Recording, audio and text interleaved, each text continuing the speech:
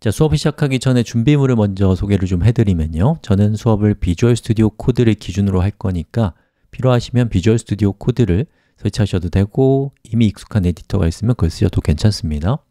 자, 또 하나는 Node.js가 필요해요. Node.js가 설치가 안 되어 있다면 홈페이지에 오셔서 LTS라고 적혀 있는 버전을 다운로드 받고 설치하시면 되겠습니다 자, Visual Studio Code를 켰고요. 우리 제일 먼저 할 것은 우리의 프로젝트를 저장할 폴더를 만들고 그 폴더를 VS Code로 열어보겠습니다. 자, 탐색기에 보면 폴더 열기가 있습니다. 자, 폴더 열기를 클릭해서 데스크탑으로 가시면 또는 윈도우는 바탕화면이겠죠? 새로운 폴더를 만드세요. 저는 next app이라는 이름의 폴더를 만들었습니다.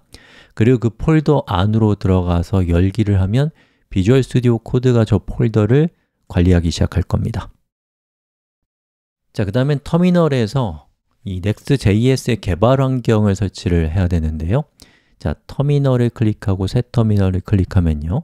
자, 명령어를 입력할 수 있는 화면이 뜹니다. 자, 여기에서 우리가 Node.js를 설치했기 때문에 사용할 수 있는 명령어 npx를 사용을 할 겁니다. npx는 노드로 만들어진 프로그램을 설치 없이 바로 실행할 수 있는 컵라면처럼 편리한 프로그램이에요. 자, 여기에서 create next app이라는 이름의 앱을 실행하겠다라고 적습니다. 자, 그리고 그 뒤에 골뱅이 latest 이건 최신 버전을 사용하겠다는 뜻이고요. 점은 현재 폴더를 의미합니다. 즉 현재 폴더에 Next.js의 개발 환경을 만드는 명령을, 프로그램을 실행하는 거죠. 엔터 치면 이 프로그램을 다운로드 받고 설치가 진행됩니다. 만약에 설치할 거냐 말 거냐 하면 OK 이렇게 물어보면 Yes를 누르시면 돼요. 자, 첫 번째로 우리한테 물어보는 건요. TypeScript를 사용할 거냐라고 하는데 우리 수업은 JavaScript 기준으로 할 거기 때문에 No를 선택하시면 됩니다. 자, 그 다음에 ESLint는 그냥 yes 하시고 tailwind도 yes 하시고 SRC 디렉토리에다가 여러분의 소스 코드를 저장할 거냐고 물어볼 때는 yes를 하시면 됩니다. 자, 그리고 이거 아주 중요한데요.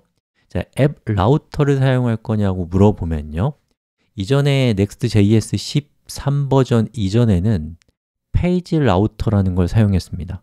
그리고 13 버전부터 앱 라우터라는 것이 도입됐는데 이 앱 라우터는 개발 방법을 완전히 바꿔놓기 때문에 여러분이 이걸 앱 라우터를 쓰냐, 페이지 라우터를 쓰냐 굉장히 중요한 차이가 있습니다. 우리 수업은 앱 라우터를 기반으로 기준으로 수업을 진행할 거기 때문에 Yes를 누르시면 됩니다.